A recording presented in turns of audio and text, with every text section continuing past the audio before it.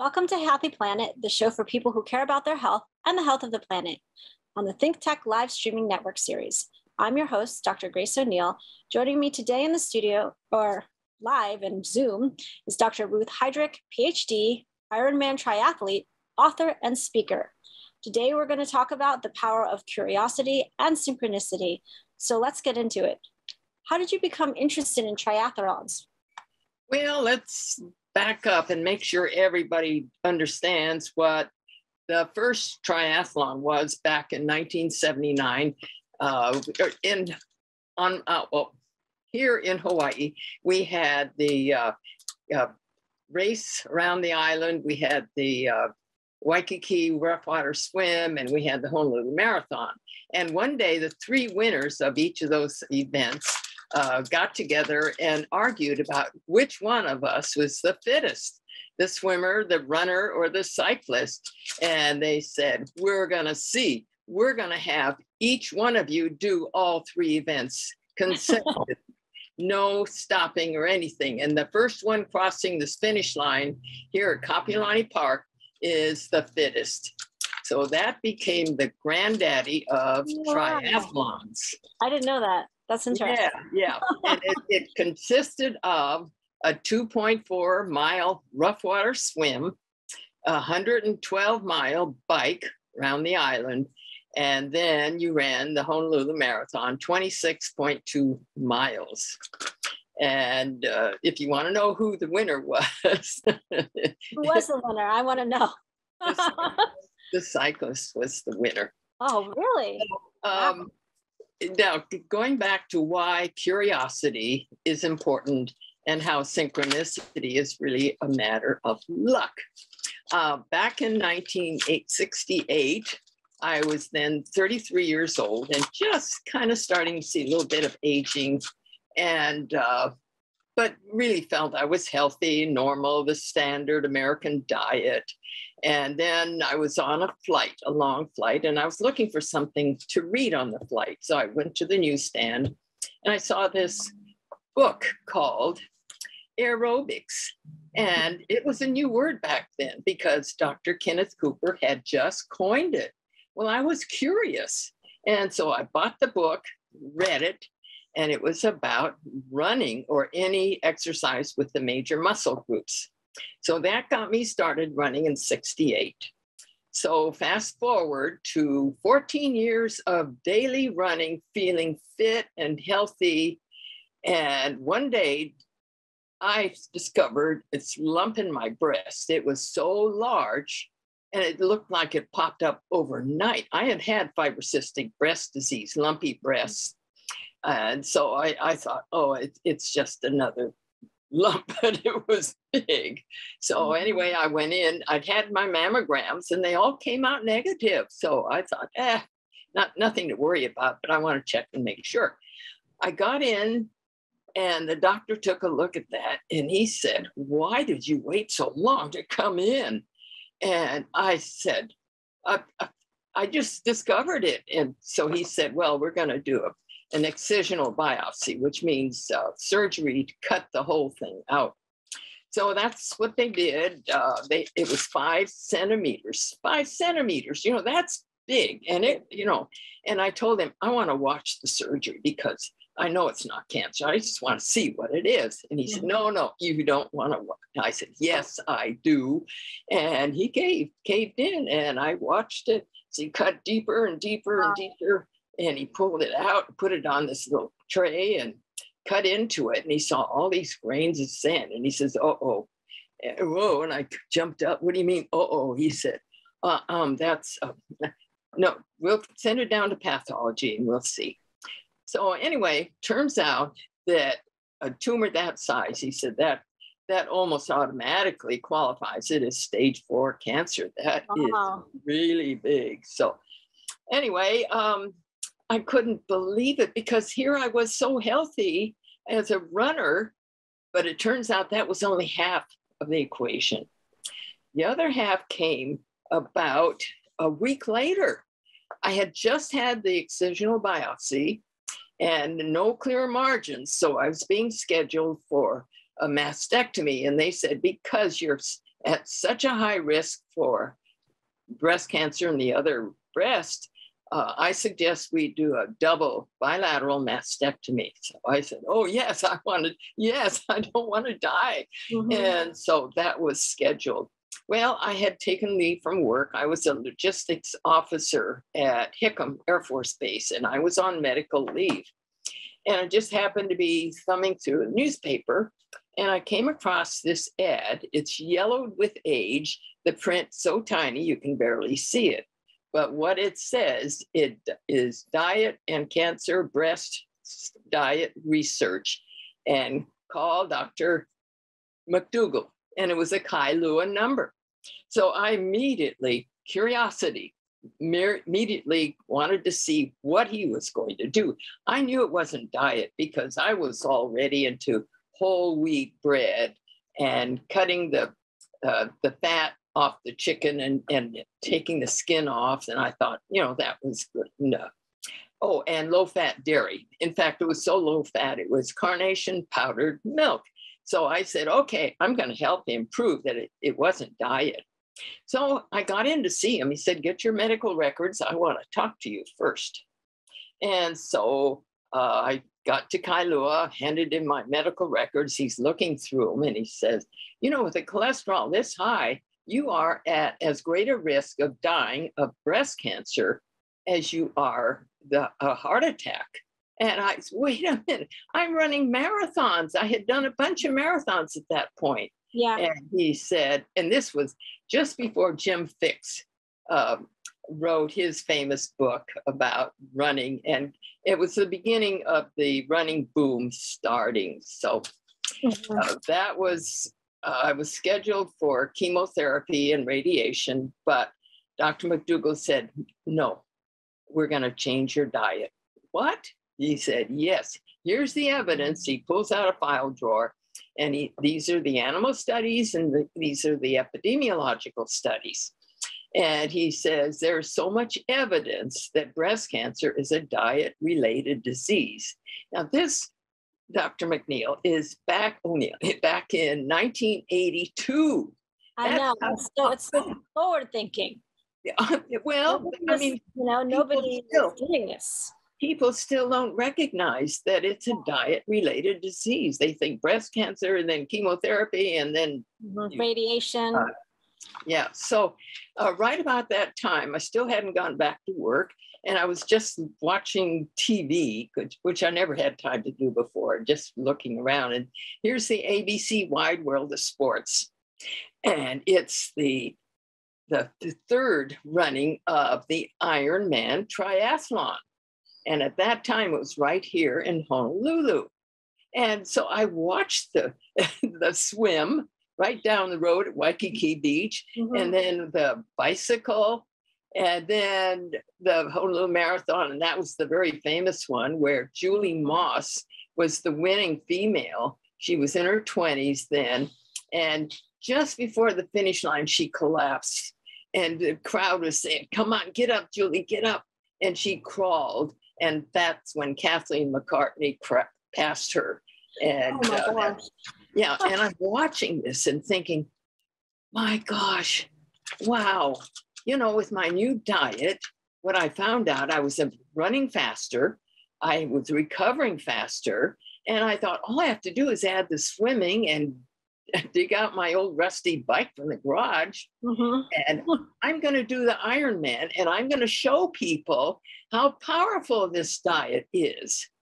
And so the synchronicity is the luck in finding this book, the luck in seeing the notice here, and the, the other first book uh, about the change is Making the Change, Dr. Mm-hmm. John McDougall's very first book with all the recipes. And so I was winning. In fact, uh, I've got a whole bunch of trophies. You can see, uh, in fact, of a, a bunch of them are in the closet because there's no more room for them. And even got um, a gold medal in the senior Olympics. I had mm. always thought about when I was in high school and a swimmer. I mm. thought, I want to be an Olympic swimmer. Esther Williams was, you old timers will remember Esther Williams. She was a great swimmer, and uh, the Olympics were famous even then. And I thought, I'm going to be like her. But then with uh, college and, and other things t- distracting me, I just kind of mm-hmm. forgot about it until I heard about the Senior Olympics. Uh, when somebody, another running friend of mine, said, you know, you ought to enter the Senior Olympics. And I said, the what? Senior Olympics? He said, yeah, they have state levels and national levels. So I did the state level first, qualified for the national level, and got another gold medal. And so, wow. And that's when uh, Dr. McDougall said, You've got to write a book. And so that was the first book, A Race for Life. And then uh, a couple of years later, at age 70, I was still doing triathlons.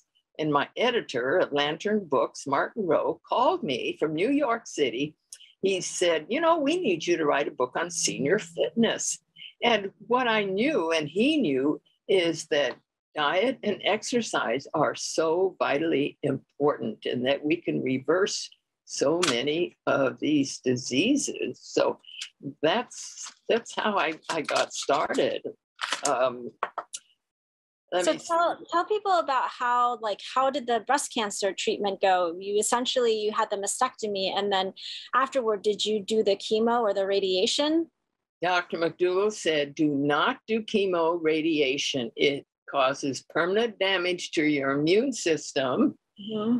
And it is there's no proof that there's any cure. That recurrence is is very very likely if you don't change your diet, and yeah. that has turned out to be true. So, um, so I, you've never I, had a recurrence for how many years now? How old are you now, Ruth? You're 80, almost 87. And when did you get diagnosed? 36. So it's been what 50 years, and you've never had 40. a recurrence just on your diet and yeah. exercise, right? So tell, tell people about what kind of stuff you eat every day, what kind of diet you have. It is fruits and vegetables, legumes and whole grains, uh, a few nuts, not to make them high fat, but some nuts and uh, mushrooms. Mm-hmm. Uh, I read the research. I read Dr. McDe- uh, Dr. Greger's nutritionfacts.org and he publishes all the latest research. And so I've added these mushrooms and and nuts, walnuts in particular. So mm-hmm. I also have a lot of fruit. Uh, we're lucky here. You're, you're eating the nuts now, you because I remember you said it was low fat before. But are you right. limiting the nuts at all, like to a handful, or are you yes. eating them fully? In the morning, uh, because I have a handful of almonds, because research shows that that helps the bones. Mm-hmm. And in the evening, a handful of walnuts because that helps the brain. Yeah. In fact, I have blueberries every night as part of my dessert. Uh, blueberries are brain berries, and the research is so clear uh, that it helps prevent dementia. Mm-hmm. Uh, I didn't used to drink coffee, and then I started reading the research that uh, it is it the certain amount, you know, up to three to four cups a day is healthy and prevents dementia or helps, you know, to lower the risk of dementia. So that's, uh, and green tea, I have that as my beverage and uh-huh. uh, was doing really, really well, just collecting medals. I did, uh, when I was 64, I was going to do 64 races because I did like in one weekend, I did three races one weekend and I got three first places. Wow. Yeah. And the, like on the sports page, by coincidence, um, they were all listed together. You know, Ruth Heidrich, mm-hmm. first place, Ruth Heidrich, next call. That's awesome. the editor called me and he said, I can't believe what I'm reading. He said, How did you do it? So he uh, interviewed me, and so a story appeared about that. And you know, with all these races, like the winning the Ironman in Japan and winning the Ironman in New Zealand, I always stress the diet mm-hmm. to the reporters. Yeah. But amazingly, you know, they don't want to talk about it. And the same is true like with climate change. You know, Mhm. we know that eating animal products, animal husbandry is the number one driver for climate change. And yet the COP 26, they nobody mentions it. It's really, really sad. It, we, it Mhm. is so important that we change our diet. So everything was going really, really wonderful until I started about 10 years ago. I started having some strange symptoms, and I thought, and you know, that's that's not what happens as you age, even though everybody thinks it does. And the reason I knew about that was, um, are you familiar with the blue zones? Yes. the blue zones, and very few people are, unfortunately, because when I started going to doctors about why I was having joint pain, why I was having these autoimmune disease symptoms, why I was having chronic fatigue when I'd always had so much, you know, an Ironman triathlon, my first one was 14 and a half hours of Yeah, constant racing from going that level of energy to hardly getting out of bed and just feeling totally exhausted. And, and I knew with the blue zones, uh, where they have the highest level of centenarians, and none of these symptoms that I was having, and that there are other people uh, in eating the SAD diet have. Uh, my blood pressure was still good, my um, cholesterol still low, and my what's the third one metabolic syndrome i had none of that Oh. so i couldn't figure out what was going on until i picked up a newspaper and saw headline breast implant illness living nightmare and i thought that's silly you know i had reconstructive reconstructive surgery and they said uh, silicone you know these are the, the answer and you you can look normal again. I said yes i'll have some more normalcy after this surgery. Because i went a year without anything and i was embarrassed when i would be running races at, at be totally flat chested so i could hardly wait for the reconstruction and i they told me you know nobody even mentioned any of the possible side effects like a joint pain and the autoimmune and the uh, mental fog and uh, oh gosh the osteoporosis hair falling out Yeah. all these symptoms. And so I went to these doctors and they said, it's your age. You've got to accept it, you know. And a few even said, well, the osteoporosis is because you don't eat dairy. Well, Yeah, I knew that the countries that eat the most dairy have the highest osteoporosis, and that milk is not, or cheese is even worse, is not the answer. And so after reading that article about all these symptoms, and I was having the same thing, I went to the plastic surgeon who put them in and said, You've got to take these out. And he said, What? Why? And I told, I showed him this story about breast implant illness. And he said, Oh, that's silly. Uh, we know saline implants or uh, the textured implants are, are safe, silicone. Well, what they didn't know at the time, nobody knew at the time, the research is very recent. It's only been in the past a couple of months that the research done in the Netherlands, of all places, where they were further ahead in knowing that these were dangerous. Years ago, they were banned. Canada banned them years ago. And in fact, a, a, a researcher from the University of Alberta came to the US on his own dime to the FDA to testify. You've Mhm. got to get these breast implants off the market. They start their microgel bleeds of silicone and heavy metals from day one. And of course, because it's microgel, uh, you don't see any symptoms, but because it goes directly into the circulatory system, Mhm. guess where it goes?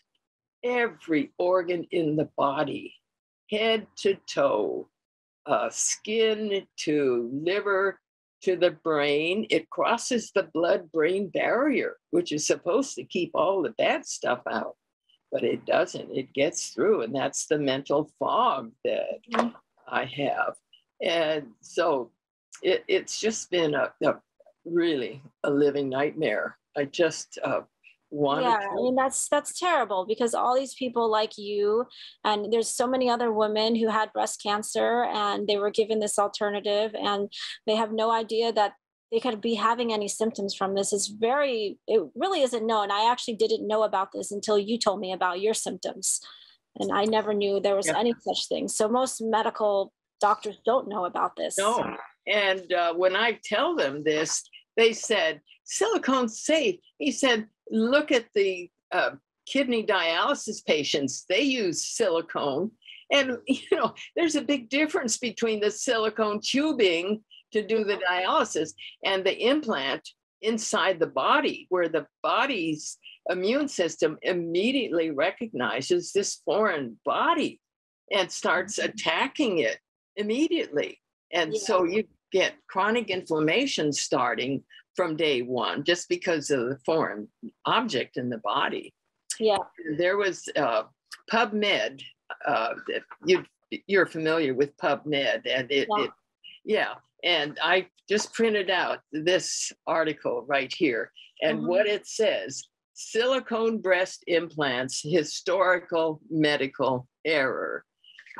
And so I want to take this to every one of the 14, oh, now 15 specialists that I went to see about my osteoporosis. This, that's the reason yeah. about my joint pain, uh, my uh, autoimmune disease, it's my uh, immune system attacking the heavy metals and the silicone. These are also heavy bodies, uh, foreign bodies in the body, and attacking it and the, the damage that does when it's in the bones, when it's in the uh, organs, is collateral damage because yeah. that's how the uh, everything, skin gets damaged, uh, your hair falling. When I ha- have hair falling out, I look at the follicle and it is, they've gotten smaller and smaller and they're misshapen and the hair's yeah. gotten thinner and thinner. You can't even see it. The only way I know some of these hairs have fallen out is because I feel it. You mm-hmm. can't you can't see it, but. I, I feel it. I know it's there. That's how uh, the hair is. I've lost 90% of it. I, I think it doesn't look like it, but because I had so much hair before, you mm-hmm. know. So anyway. Sure. Tell everyone about your website, um, just, you know, because we're going to have to you know close it up soon but tell everybody about your website and the book you wrote about this illness so people can be educated about what they can do if they are suffering these symptoms and maybe even read the book before they get a breast implant or if they're thinking about having a breast yeah. implant. Yeah, I'd mentioned A Race for Life, my first book. And then I also did a recipe book, Chef, Cheap, Healthy, Easy, Fast. And mm-hmm. then uh, when I hit uh, almost 50 years of running, again, you know, back in 68 when I started, my editor asked me to write a book on lifelong running because he started running as a result of of reading and editing my books and thought, oh, I'm going to try it. So yeah. he asked me to write that book. And then uh, I started thinking about, you know, all these women need to know this and they have no idea and their doctors aren't going to help them so no. i decided to write this book on how healthy i was doing ironman triathlons and winning races and and to gradually get to the point where I could hardly get out of bed and had all these symptoms. Sure. Women need to know this. So that's uh, why I started uh, my book. And uh, it is on my website, Breast Implant Illness, a Living Nightmare. So you can see, uh, maybe uh, Michael can show the the, uh, Facebook, not Facebook, my uh, website, ruthheidrich.com mm-hmm. with the books. Uh, yeah, the books are on the side there, everyone. Yeah, yeah. Yeah. And if people go to my website, which is ruthheidrich.com, there's a button they can push, and it is Ask Dr. Ruth. And that's where I mm-hmm. get questions, uh, mostly about diet and breast cancer.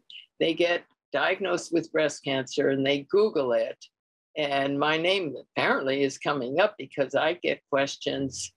Right now, I'm dealing with a woman in Tasmania, one in at you know bottom of Australia, and one in Beirut, Lebanon, and one several in Canada, and a couple that are somewhere wow. in the US. I don't and back and forth emails, and I just gradually mm-hmm. help them, support them, making that's so wonderful of you. Yeah, so that's a, turned out to be. A, I yeah. spend more time on my website than I did as the logistics officer in the Air Force.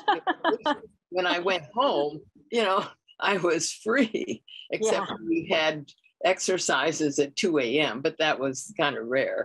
Uh, I just want, I've reminded me of I Team Spirit was an Air Force mm-hmm. exercise done with the Koreans, South Koreans, and I played the chief of maintenance at Osan Air Base in Korea. And man, that was a highlight. And I was a runner then. And so Koreans would see me running and they want to run with me. You know, I want to be run, run. you know, I ran the Great Wall of China. So all of these exploits uh, have just been taken away from me because of these breast implants. So I am mm-hmm. hoping that my kidneys and my liver, my lungs and skin, my natural quote detoxing are gradually going to get rid of the heavy metals. They have found out there's no way to get the silicone out.